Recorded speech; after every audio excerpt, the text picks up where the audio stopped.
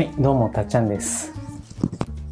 ということでね、今回はブログの記事で書いてたんですけど、えー雑誌の付録を購入していました。でね、今回買ってきたのが、はい、えー、モノマックス、モノマックスの、2月号ですね。で、これについてるのが、えっ、と、ボディバッグっていうことなので、これちょっとね、ブログに、あの、記事で書いておいたんですけれども、YouTube でいろんな方がレビューされてるんですけど、ちょっと自分もね、気になったので購入してみました。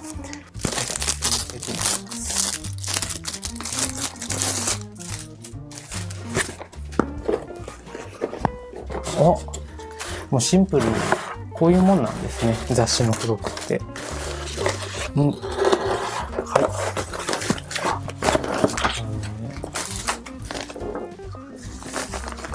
うんうんう。んすごい。作りがすごいしっかりしてる。ですごい軽いですね。はあ。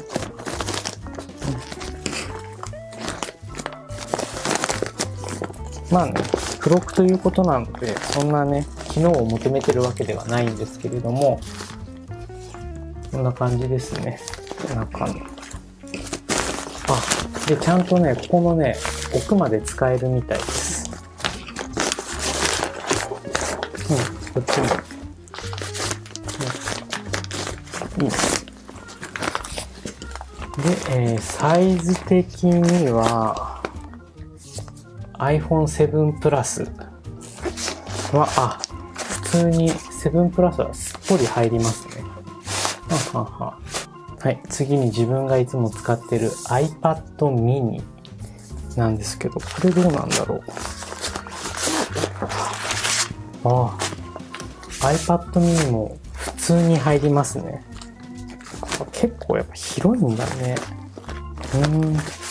iPad mini も入って、7プラスも入ると。あとはまあ財布とかね、そういうのを入れるぐらいなんで、ちょっとコンビニまでとかね、そういう時にはすごい使い勝手いいなと思って購入してみたんですけど、あとね、ここ。はい、ここのね、ベルトの部分がね、これかなりしっかりしてるね。あの、チャチいものじゃないですね。うん。これなら、あの、外れる心配もなさそうですね。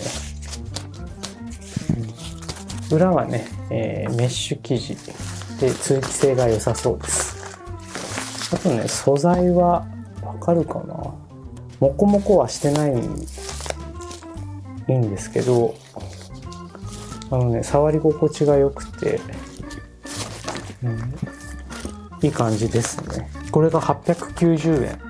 890円で、このね、えーボディバッグがついてくるんで、あちょっといいなって思いますね。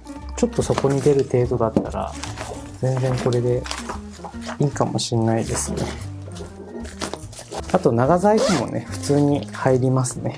自分としては iPhone と iPad を、えーと持ち歩くことが多いので、ちょっとね、入れてみましょう。まあ、iPhone は入れてて、まあ、財布でしょ？で、モバイルバッテリーっていう感じ。うん。あ、全然余裕だね。厚みもね、こんな風に薄いですね。うん。感じですね。肩にかけるってことはないかな。腰にこう、腰にする感じかな。自分だったらね、使い方としては。まだね、これ発売、発売が1月9日だったので、まだ、あの、本屋さんとかね、書店ではあると思うので、ちょっと気になってる方はね、ぜひ一度、一度というか、まあもう付録なので、これが再販されることはないと思うので、まあ、雑誌も読めて、で、値段も890円と、えーお買い得じゃないかなっていうふうに思いますので、もしよかったらね、ぜひ購入してみてはいかがでしょうか。それではまた次の動画でお会いしましょう。バイバイ。